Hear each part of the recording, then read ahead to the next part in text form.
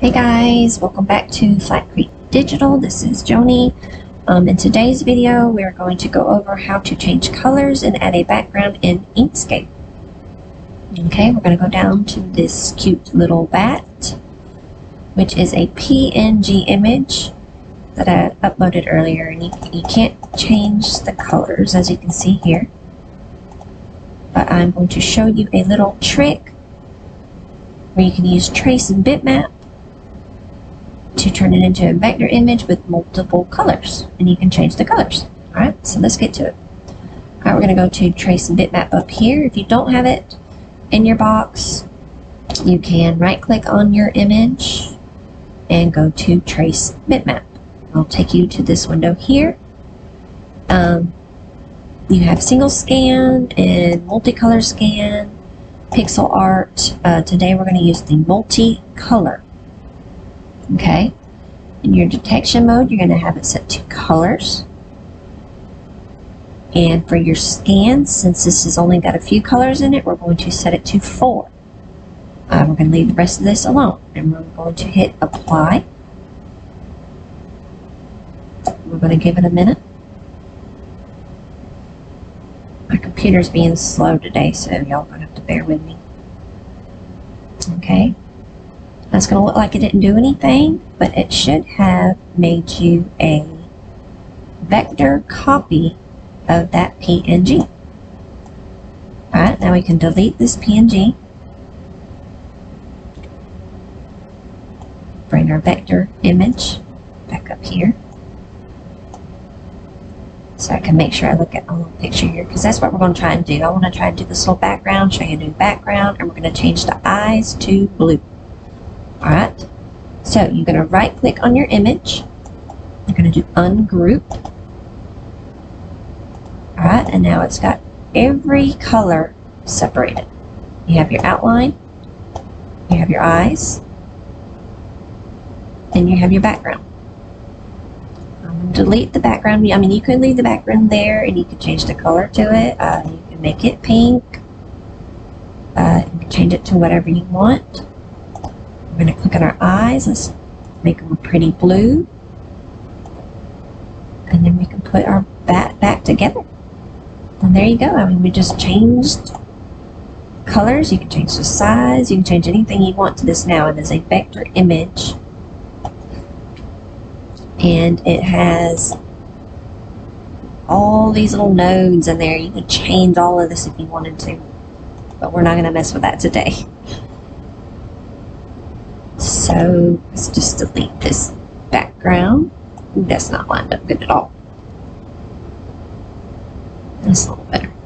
You could use the, the alignment tool, but I don't want to grab these eyeballs for some reason. Let's see. Did it work this time?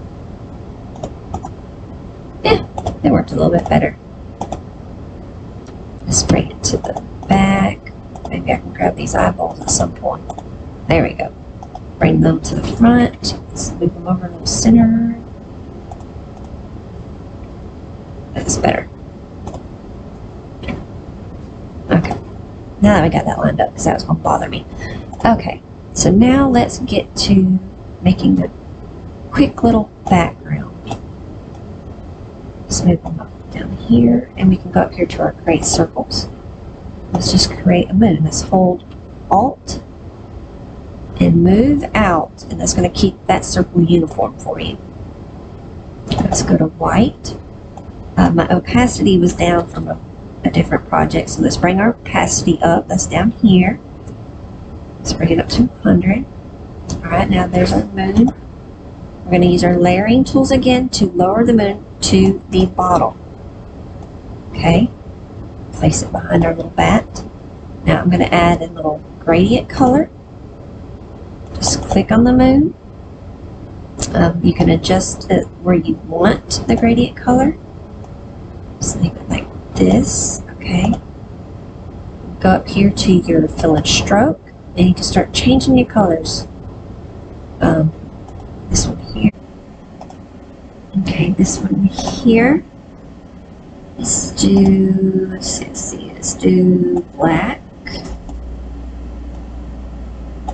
let's do opacity.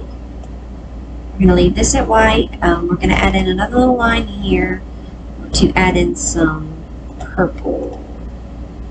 Because that will look cool. Like I did up here in the other moon. There we go. I like that. And there you go. Now you have a little moon. Um, let's bring the opacity down some because it helps it not look like just a big old circle up there. There we go. Gives it some depth to it. And there you go. You got a nice little moon background. You have a little bat, blue eyes now instead of pink. Um, if you wanted to add something else, you can do another layer, bring your opacity back up. Uh, let's change this. How about let's change it to black? Go back to our selector tool, send it to the back. Maybe let's do gray. Yeah, make that look better.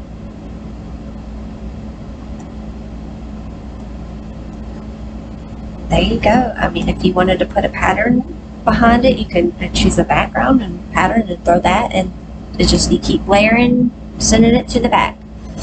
But there you go.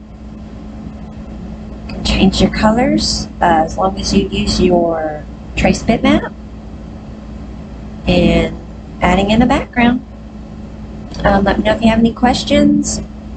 I'll leave it in the comments. If you'd like me to make any other kind of video, let me know. Um, just you know, make sure to like and subscribe. That way you can see any of the other videos that I post. And thank y'all and have a good day.